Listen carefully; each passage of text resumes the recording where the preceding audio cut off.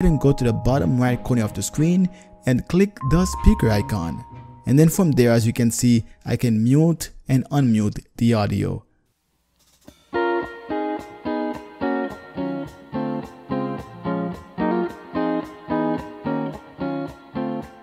Something else that's very important to do is making sure that the sound is coming from the right device.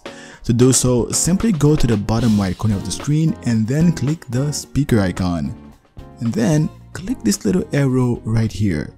And there you go, here's a list of output devices. Now choose the device that is right for you. Okay, so how would you know? Well, if you wanted to use your speakers and they are connected to your PC, then choose speakers. So choose the device that you intended to use. Another way of doing this is by clicking the start button and then typing sound settings. And then from the search results, select sound settings. And now go under where it says output and there you go. Again, here's a list of output devices you can choose from. Now go ahead and check the sound to see if it's working.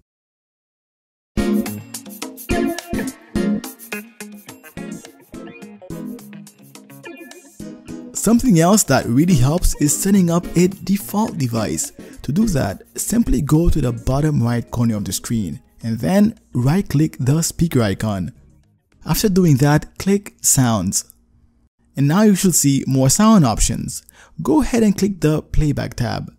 Now all you have to do is simply right click the device you want to be the default and then choose set as default device. Okay, after doing this, go ahead and check the audio to see if it's working now.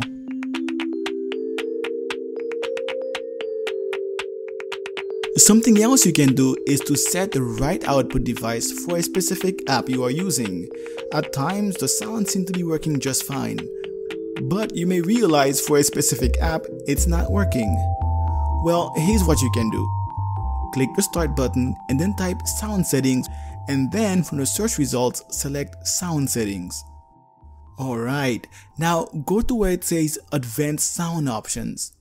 And now you will see the control for all of your apps. On top, you can adjust the master volume and even choose an output device. And from the bottom, you can change the control for each app and the output device for it. For example, if I couldn't hear anything while using this app, I can check to see if the volume is correct and I can check to make sure that the right playback device is chosen for it. So if you really could not hear the sound from a specific app, go ahead and check it out now to see if the sound works.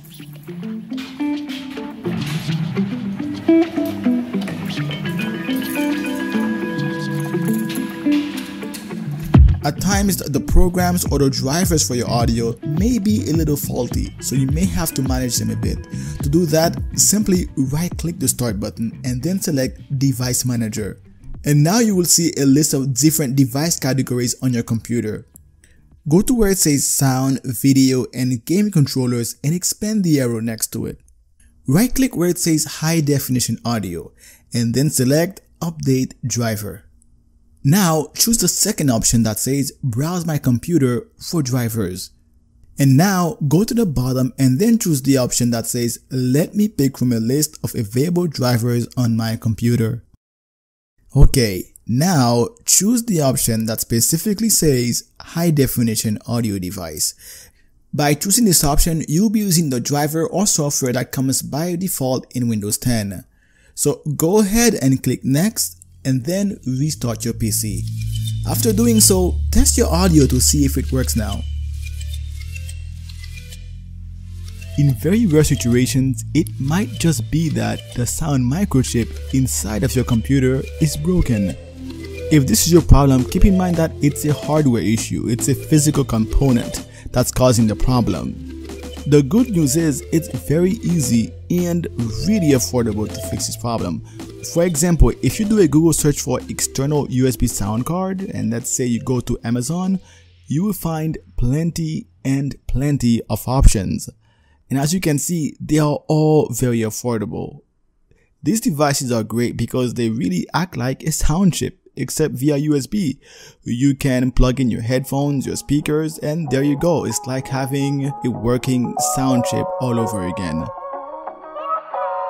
And there you go. These are all the ways you can fix sound problems on Windows 10. Now, if you can think of any other way, please feel free to share it in the comments and also hit the like button.